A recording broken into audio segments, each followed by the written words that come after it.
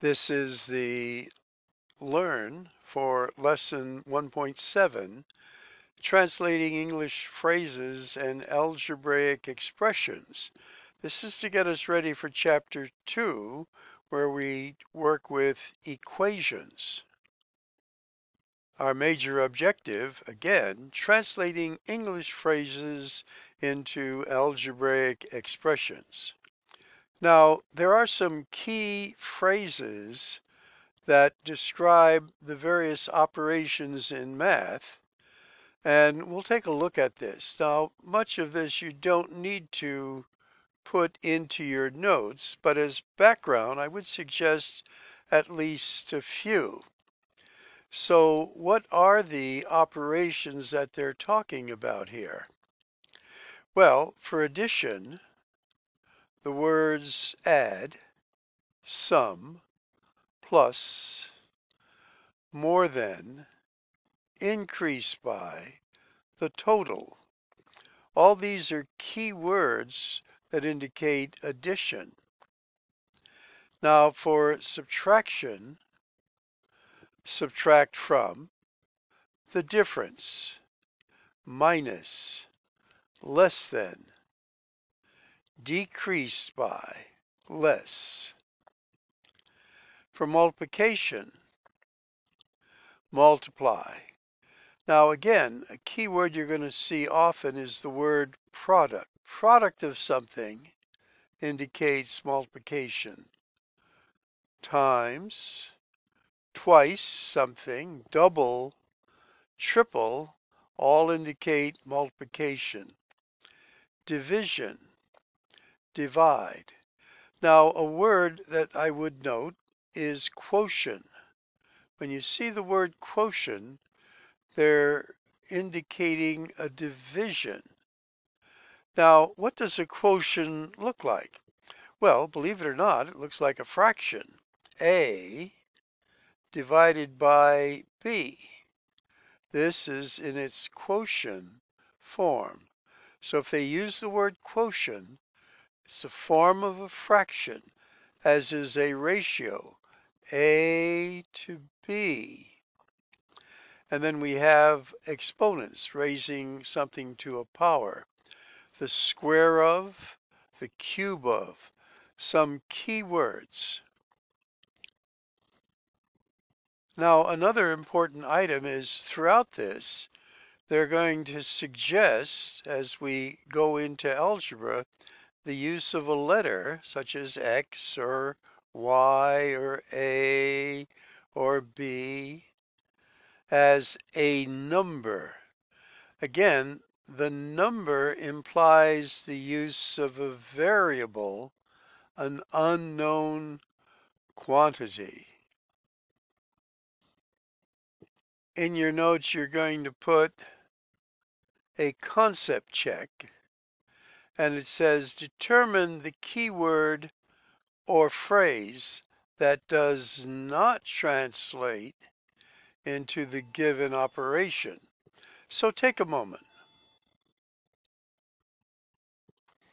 Well, looking through these, all of them are multiplication except this one, which we asked you to write up as division, a quotient.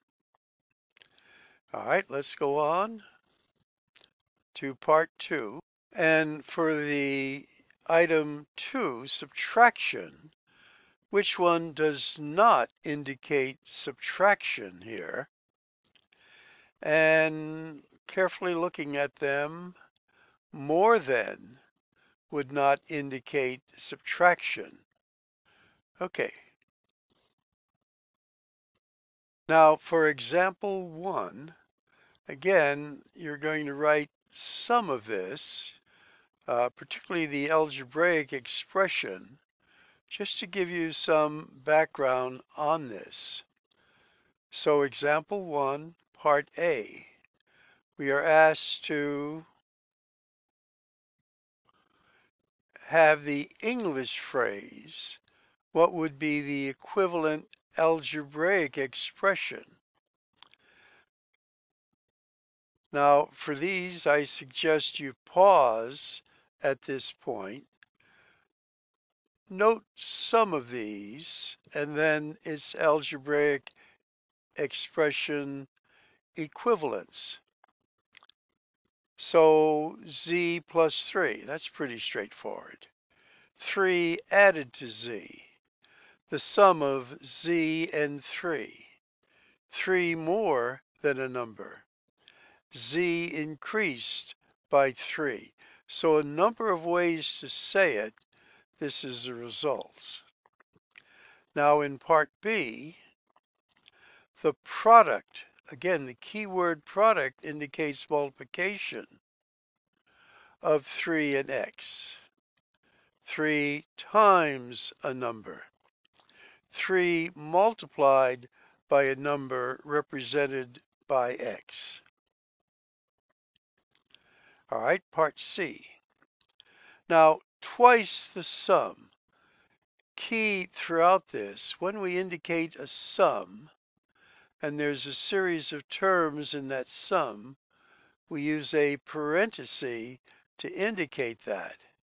So twice would be the 2, and the sum then of x and 1 Again, the keyword sum requires a parenthesis to group what we are talking about as a single unit.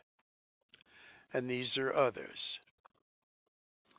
Now, notice in D, twice x plus 1.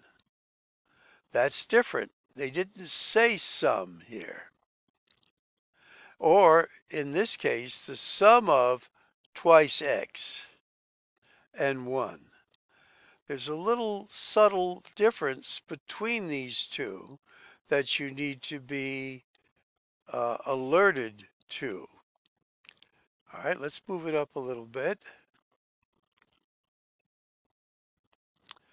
Now for letter D, here we have the difference between 5 times a number and 3. So the difference is indicated by a negative sign. And here order is important. And take a moment, read these others. Now for F, the quotient, again, they're showing the fraction form. Now another way of writing this might be a number divided by 6. That would be more the arithmetic way of writing it. All right, letter G, the square of a number, a number squared and the cube of a number for h, a number cubed. Now, for example, 2. Change each phrase into an equivalent algebraic expression. A. The number of minutes in H hours. Here you would have to know how many minutes are in an hour. So 60 minutes times the number of hours.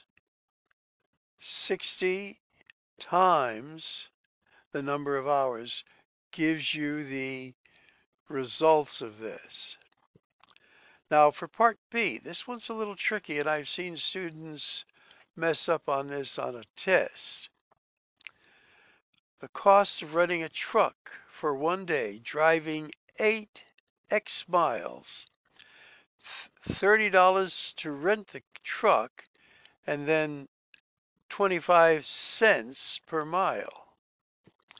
So again, $30 to rent the truck plus, now miles, I want you to use X for it, now, how do I write 25 cents? Well, point 25. what I find sometimes students have done in the past is they've written 30 plus 25x. They did not put the decimal there.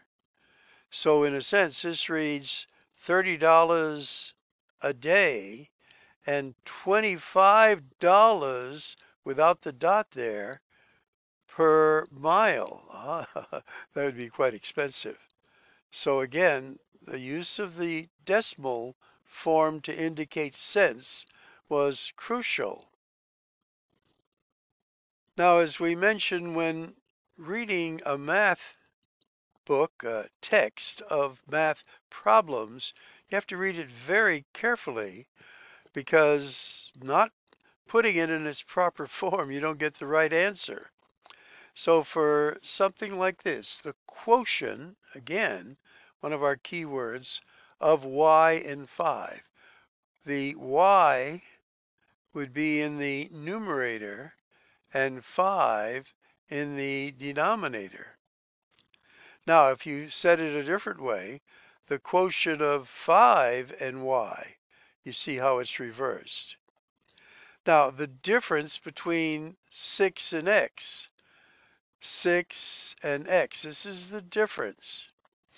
The difference between x and 6. Now, again, not reading that properly and not getting it in its correct form, you're going to get the wrong answer. Now, we have a word where things like this is critical and maybe not that clear. And I want you to write this word in your uh, notes as well. That word is when something is not particularly clear, we say it is ambiguous. Now, what does that mean? Well, again, you're not quite sure what it means. Could mean this or it could mean that. Comes from the Latin verb ambos, which means both. And that's from the Spanish there. So an ambiguous phrase is one whose meaning is not clear and may be interpreted more than one way. That is, this way or that way. All right, word for vocabulary. Not reading this correctly may result in that. Pause and look this over and note the difference of what's going on here. So for instance, here it's 7 times the sum of this, 6 times the difference of this, and then 7n plus 1. Notice that this and this could easily be misconstrued. And we may use the word ambiguous here. What does it mean? So let's go down and take a look at this, where again, things may not be that clear. We're going to call this example 3, part A. 5x the product of 5 and a number. 2n plus 8, twice a number increased by 8. Now, 3 times the difference between a number and 2. So here you had to use parentheses to indicate a difference. Uh, three times the sum between the a number and two. Again, reading it carefully to get the correct algebraic version of it.